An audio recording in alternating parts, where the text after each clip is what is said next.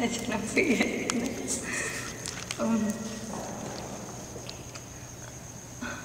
during uh, um, when I attend the first day of LSS, um, having I have a good experience having this vision of light, light covering the entire event, and the light, the light was so bright and look, looks like a, the spotlight um, focusing on us.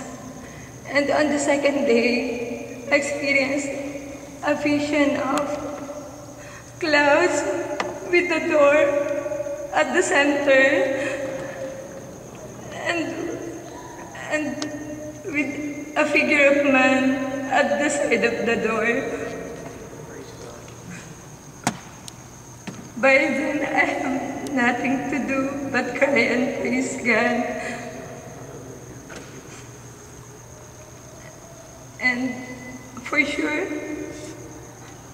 I would, I would carry and treasure this experience for the rest of my life.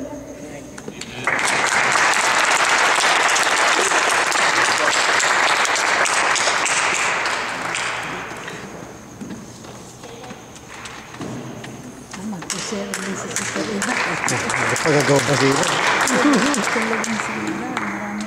Come, Sister Beth, come. Tsaka vibrant agad siya. Ay, yeah. Ganyan ba siya? O hindi ganun personal. Okay. Good evening, brothers and sisters. So this would be like a continuation of what happened to me. Um, a lot of things had changed after the LSS. Um, I can say that, yeah, really everything. Um, in my work, I noticed that it's like my my burden, the work burden became less. And I say, why? wow, how does this happen? And it's like a magic. like uh, my admissions came like at 7 o'clock, so I don't have to do anything. When you have uh, admissions like 30 minutes or one hour before your shift, have to extend. And like, Lord, uh, this is like magic, really. and thank you because uh, I don't have to extend time. And I also feel that um, God, the Holy Spirit is working on me. Um, sometimes it did not happen to me before, but um, in my work, um, I feel like God is sending me people, like people with problems and have like difficulties. Um, patients' relatives, they are crying to me. I don't know why they're not my patient, but Lord, why me? So I just whisper, Holy Spirit, please help me. I don't know what to do. But then they cry to me.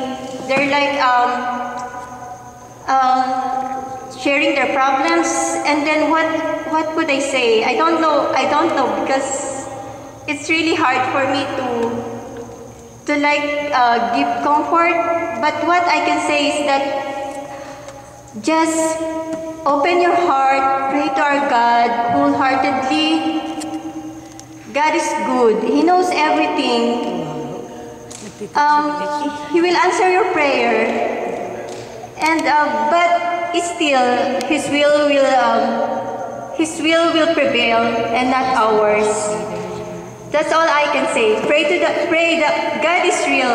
God is really wonderful. God is good. God is God is here on us. If you just pray wholeheartedly, open your heart.